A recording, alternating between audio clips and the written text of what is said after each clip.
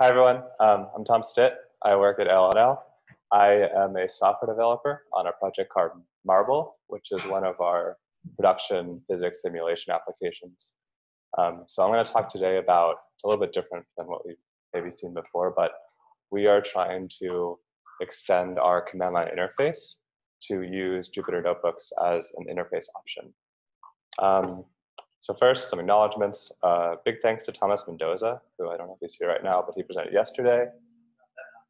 Without him, we wouldn't really be able to do Jupyter on our computing network. Um, I want to thank the MARBL team, uh, because without them, I wouldn't have a code to play with. And all of you guys, plus everyone else who isn't here from the Jupyter community, for making such a great product. So MARBL is um, a high energy density physics application, simulation application. Um, it's built off two other applications. I'm not really going to go into detail, but uh, it uses um, C++ Fortran. It's all MPI based. Um, and it has this shared layer of C++ and Lua at the top. So our users write code in Lua to define their input problems, and then also if they want to um, use a shell with our application, they have a Lua shell. So uh, a lot of you probably already know how applications are run at these HPC facilities, but uh, I'll give a little brief overview again.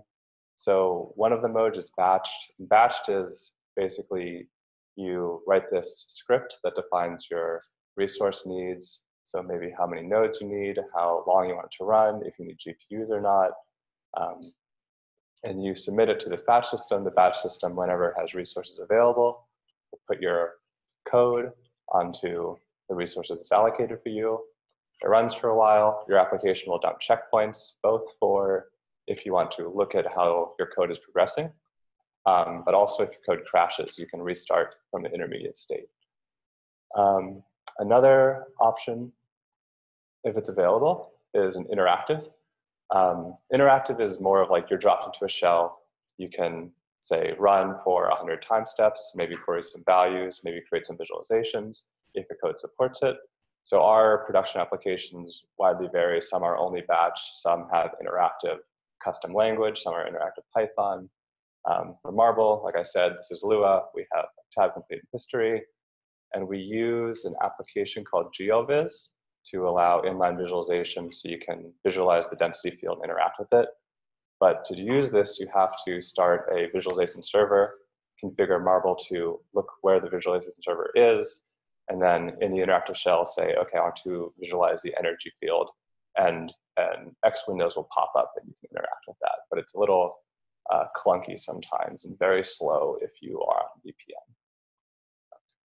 VPN. Um, so we were thinking when I started, um, some other people have been thinking about what do we want after the CLI? How do we give users a richer experience? Um, there are some initial mock-ups which is using some open source web terminal just to connect from a browser to the app. Um, but I thought Jupyter might be a good fit. Um, and especially with Jupyter Lab, we're very interested in having that be the entire space for the user to um, do their workflow. So if they want to make their mesh, and maybe that's a command line only tool, they can do that in the terminal. They can write their input deck in the um, file editor, and then they can run MARBL in a notebook, um, connect and visualize and do data analytics.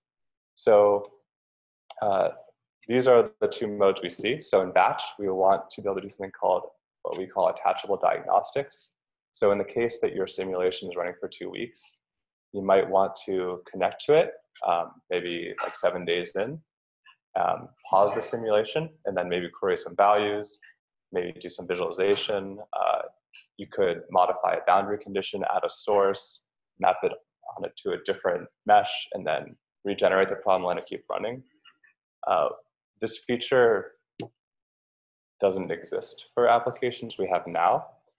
Um, you could take one of your checkpoints, kill your job, restart from that checkpoint while changing some parameters, but that isn't as um, clean, especially if it's difficult for you to get an allocation. You want to you know, keep using the one you have. Um, interactively, this is more what we see with notebooks now. Um, so maybe tutorials, or if you just want to grab a shell or a notebook, explore the application, um, and then the share, shareable, reproducible run documents.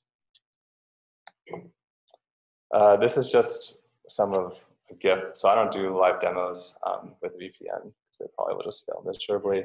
Um, this is just using Matplotlib, to hooking up to MARBL, so we can do 1D curves. People are interested in this, so they want to see the evolution of their time step. Um, this is just showing grabbing some NumPy data from our application and plotting it, uh, sort of basic. Um, this is another example. This is using GLVis, but a widgetized JavaScript version of it um, to do inline analysis. So you can, as you see, um, should have sped up the GIF because I typed slow. But you can select a field, plot it, interact. You can click and drag, uh, zoom in out. There's some keyboard options you can do to um, like display the mesh, display the axes, show the elements. Um, pretty neat. Um, I'll talk on this more if there's time. That app is actually transpiled or compiled with Emscripten from a C++ OpenGL to a WebGL WebAssembly thing. Um, we had a summer student work on that, and it works pretty well. It's pretty amazing what you can do. So brief, Thomas went over this yesterday. What does Jupyter look like at LLNL? We have Jupyter Hub. It launches notebook servers on login nodes. Um, security is important, as he went over, so we require everything to be Unix domain sockets so that um, other people on the login node can't eavesdrop.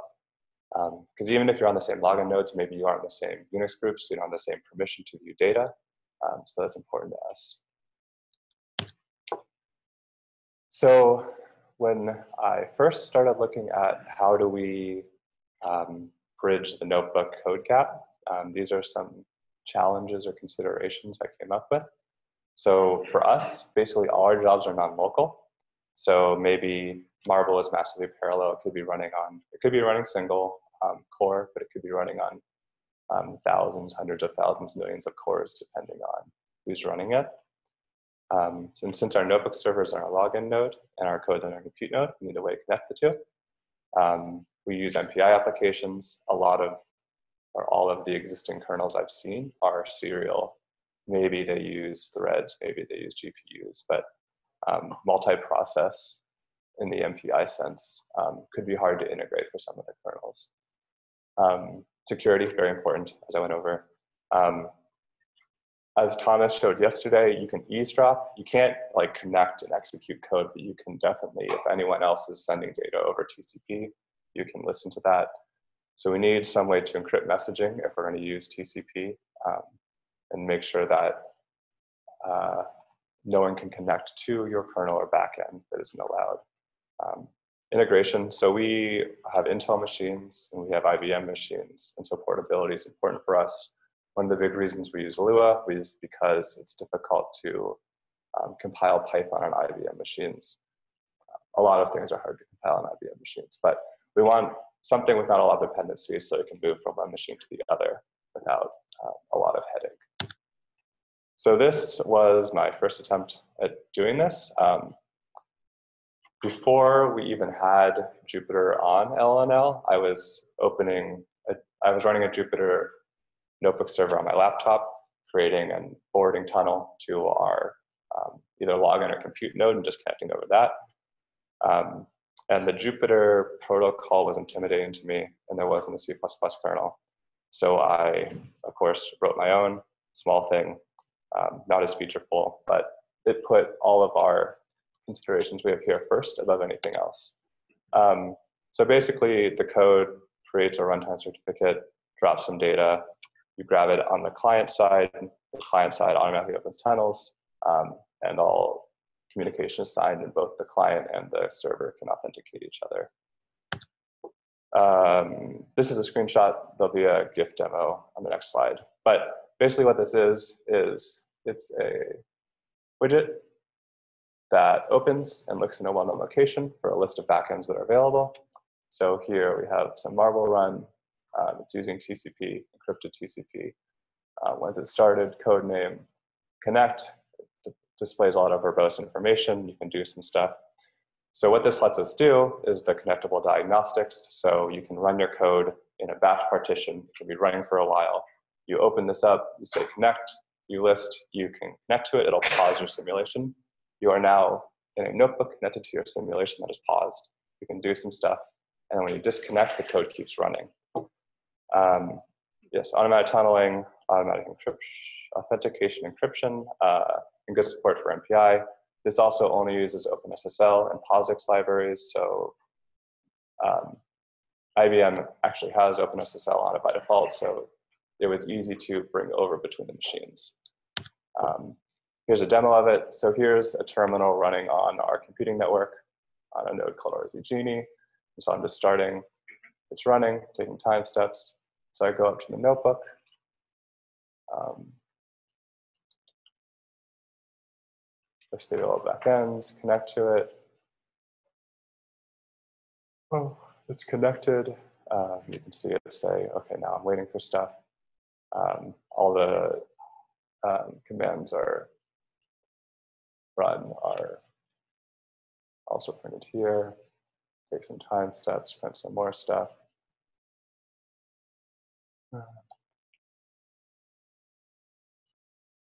And then, okay, you're done, you disconnect and it keeps running. You can close your notebook server, good to go. Um, so this gives us the attachable diagnostics workflow that we wanted. Um, so, uh, you mean in the code? Yeah. Ah, so that's all tab complete, or it's a it's just a Lua shell shell. So you can just say like, print me everything in a global state. Um, so that's the tab complete right there. If you saw some of it. Um, so the good attachable diagnostics is developed with MPI in mind, so it's very easy to integrate. Um, only used OpenSSL and POSIX, which we have everywhere. Bad, as we saw, it's a multi-step workflow. So if you want to share a notebook with someone, it sucks. Um, if you want to make a tutorial, it sucks. You have to like start the code, open this notebook, open a widget, find your instance, connect, and do stuff. Um, so along the way, uh, some people were complaining that they don't know Lua and that we should have a Python shell too. Because um, a lot of our legacy production codes are Python and a lot of our um, users use Python for other stuff. So I looked at how do we get Python without duplicating all our Lua source because we use we not we use Lua not just for input problems, but also for some of the um, user interface development. So there's this project called Lupa, which uh, just bridges between Python and Lua. So you expose your Lua state to Python, you expose Python objects to Lua. So in Python, you can say Lua state dot simulation dot time stepped or dot blast dot kinetic energy. You can get tab complete. So it looks like you have this Python dictionary, Python object that's really a Lua object. Works quite well. Um, and because we now have both embedded Lua and embedded Python, we can use IPyKernel's embed kernel to actually embed a native IPython kernel without much work at all. Um, so this worked. I don't know if I have a picture here. Um, so with this in mind, we created two new extensions of the IPython kernel, just an MPI Python and MPI Lua kernel. Um, the master rank runs the normal kernel. There's Every other rank runs a little loop that just waits for execute or evaluation requests um, and executes them. So it's a little bit hacky. It works okay, or I haven't run into issues, but um, I foresee people trying to use it and having it crash. Um, every time the user runs the code using this mode of kernels, they get a URL printed to the screen that they can copy and paste into their browser, which opens a notebook that uses another extension we developed called NV Connect Existing, which is an extension for the notebook server to connect to existing kernels. Um, automatically opens tunnels if you need them.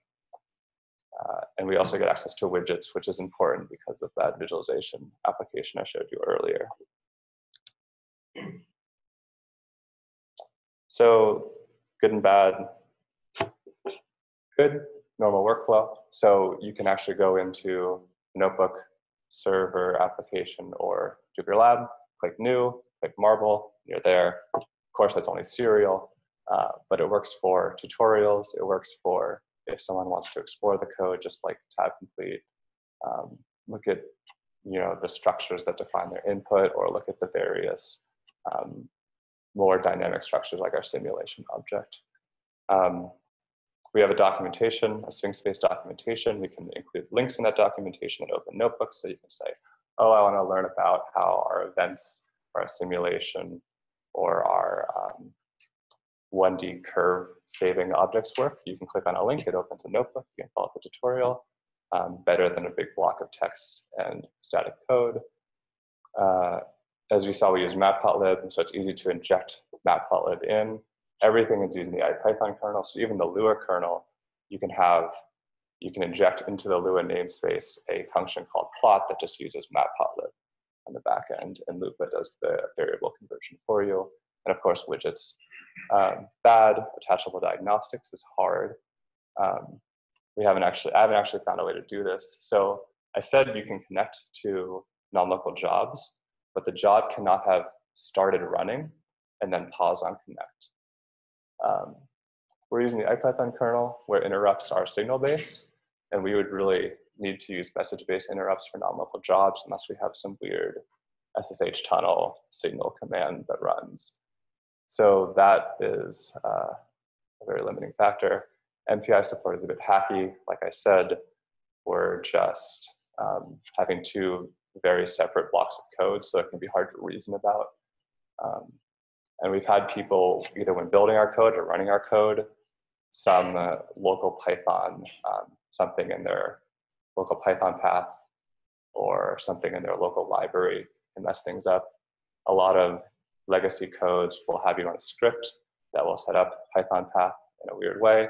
And so when you try to run our stuff, that crashes. So either it doesn't build or it doesn't run. Um, so conclusions, what do people think? Uh, so we wanted to embed notebooks or use notebooks as a front end to get a much, much richer set of features. Um, and then when we saw Jupyter Lab, we're thinking, oh, this could be like the one-stop shop for workflow. Um, like I said, you, users sometimes need to run command line tools that don't have or don't foresee any support for a Jupyter front end. Um, users might need to allocate their jobs in a very special way. So maybe we could think about batch spawner, but I'm not someone on the um, like the service side. I don't have a lot of say in that. Um, the connecting to existing kernels can be tricky. Uh, so if you don't have, if in the demo everything worked, but if you don't have SSH keys set up, stuff fails. And some users don't understand what SSH keys are, how to set them up. Um, and we don't have a lot of users. So a lot of our users are also developers or they're some sort of developers, so they might have a little bit more experience with um, actually coding in Python, actually coding in C++. And so they might, uh, they're more flexible and willing to step through the problems that they encounter. Um, when we have users who are just like physicists who just want to use our code, maybe they won't be as flexible. Maybe they won't want to even change their workflow. So it's to be seen whether or not people will adopt this. Um, future work, we want something that does the attachable diagnostics like the bridge kernel and the I just want to start a kernel on the um, notebook server or Jupyter Lab interface so maybe a xeus kernel. Um, it's in C++. I feel much more confident about hacking on that and adding MPI support. Um, it supports widget protocol, so we could just add a C++ um, kernel implementation of our widget. Uh, and because we wouldn't be building with um, Python, we wouldn't worry about user environments screwing up our builds and screwing up our startup. Um, here are some references. Um, thanks.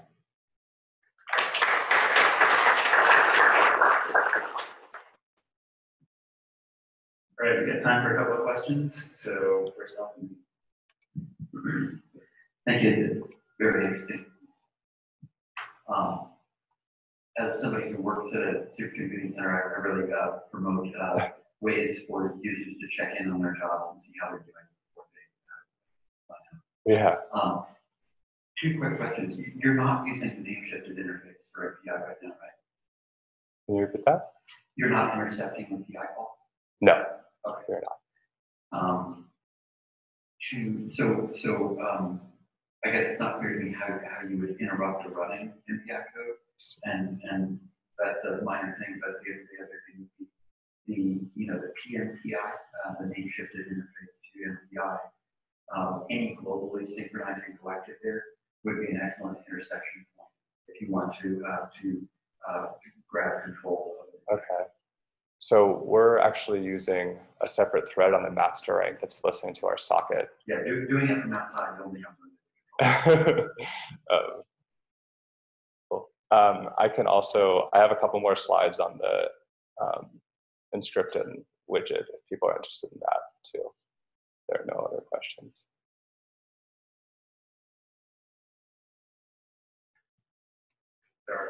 Much. I mean, have you thought about, um, are there pieces that you think could be pulled out and made general for, is that sort of, yeah, because I could see this. A common scenario running some kind of larger application and I want to use, you know, a notebook to visualize it, probe it. Yeah. it, like that. Um, So there's a project called Ascent. Um, Cyrus Harrison and Matt Larsen, if you know those names.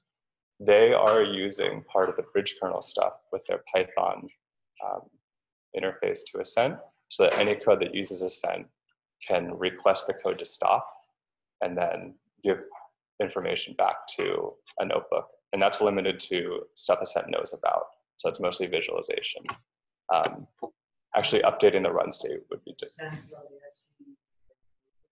ASCENT. Yeah, there's a link in the references if you want to look at it. Um, where is it? Done correctly, I could see this being usable, you know, not just for notebooks, but other kind of frameworks. for Running simulations too. Yeah. Um, Very cool.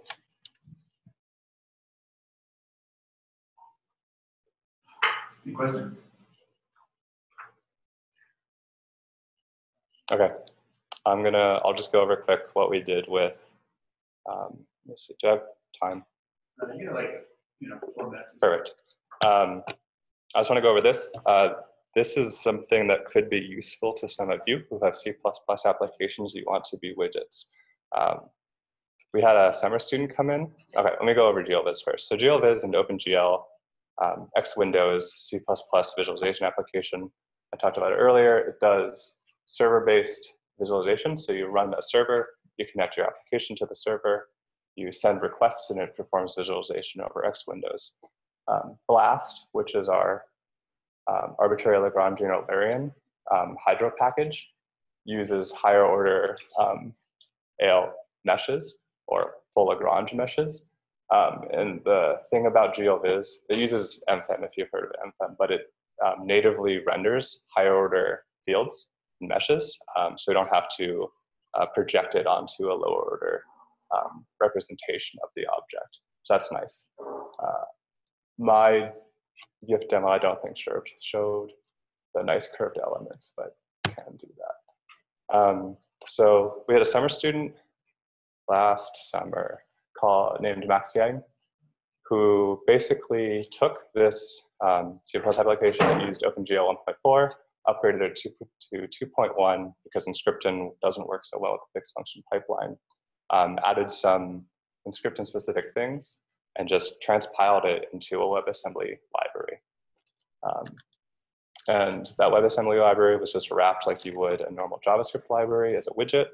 Um, the only tricky thing is there's like a one tricky thing because the Emscripten mm, JavaScript object wants to intercept all keys. So you have to make sure that you tell it, oh, only accept, uh, listen to keys in the cell that the widget is in.